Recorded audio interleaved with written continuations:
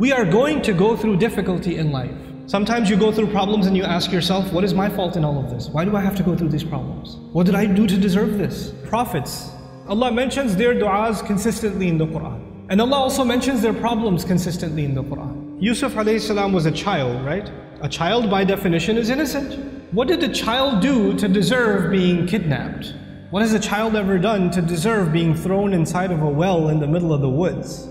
What has a child ever done to deserve being sold as a child slave in a different land? When he grows up as a young man, what did he ever do to deserve being thrown in jail over a false accusation? And he spent many years in jail not because of something he did. He was innocent. He went through situations in life that if anybody else went through those situations, you'd say, Life is unfair, man, what are you going to do? But you know what happens to a believer? They don't just say life is unfair, they say Allah is unfair.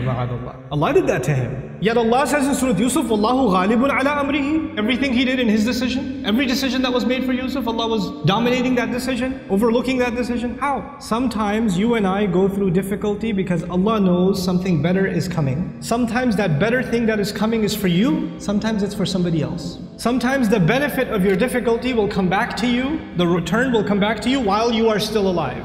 Sometimes the return is meant to come back to you after you go back to Allah. What happened with Yusuf salam? A father was separated from a child. It's a tragedy, isn't it? But imagine if he was never kidnapped, he would never be in the well. If he was never in the well, he would never end up in Egypt. If he was never in Egypt, he would have never grown up there and been thrown into prison. If he was never in prison, he would have never met those two guys he met in prison, whose dream he interpreted. If he never met those two people, one of them who got to live and go back to the king, and when the king saw a dream, a strange dream, he would have never said, Wait, I know someone who can help interpret your dream. You know what that dream was? Seven good years in the country, and seven years there's not going to be any crop, any produce, any harvest. People are going to starve to death. If Yusuf was not in prison, salam, and then was taken out to interpret that dream at that time, there would have been an economic, financial, social crisis in the country, and hundreds of thousands of children would have starved to death. One child suffered for a few years.